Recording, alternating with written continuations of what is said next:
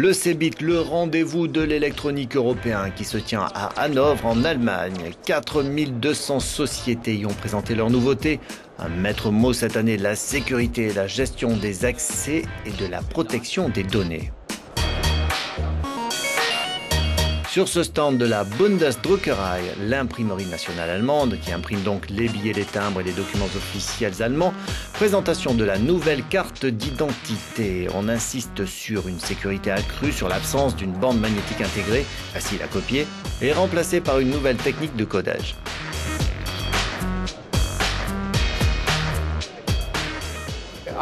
Je pense que l'authentification fiable est un des principaux aspects d'un réel commerce et cette carte va donner de la confiance dans ce commerce numérique.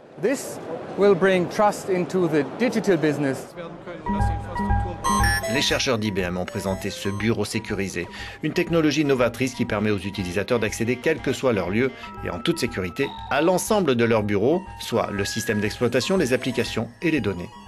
Le secret se cache dans cette clé. Nous pensons que nous ne tenons pas particulièrement à nous loguer à partir de lieux comme des aéroports. C'est un petit peu gênant.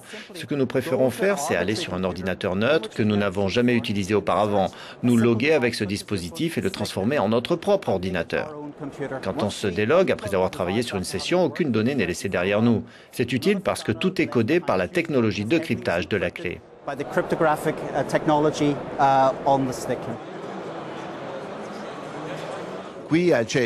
Ici au CEBIT, il est possible de se faire faire un portrait par un artiste qui n'est pas un humain mais un robot très doué. Le robot qui est photosensible est actuellement testé dans le laboratoire du Fraunhofer Institute en Allemagne. Une caméra montée sur un bras prend une photo. Un logiciel recherche ensuite les contrastes de l'image pour les transmettre au robot qui les reproduit. Un robot qui a aussi d'autres fonctions.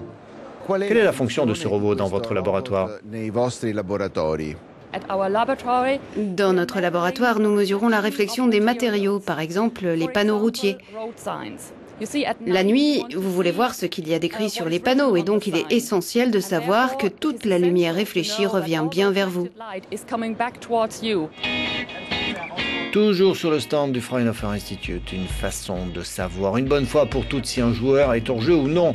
Il suffit d'installer une puce à l'intérieur du ballon qui non seulement donnera sa position exacte, mais aussi les passes, les tirs, la vitesse et la distance parcourue.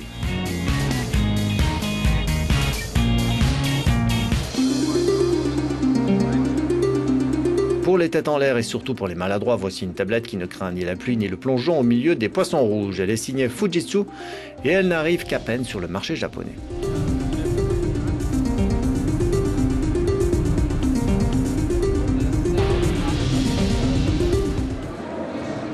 Le constructeur allemand Audi a lui présenté sa dernière A3 bourrée de technologie et dotée d'un petit écran escamotable qui fonctionne au doigt et à la voix, ainsi que d'un puissant modem 3G histoire d'être connecté en permanence.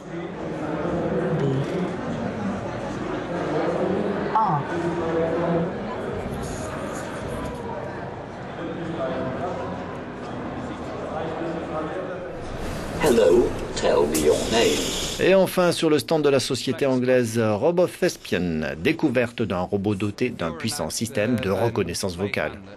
To be or not to be? That is the question. Oh.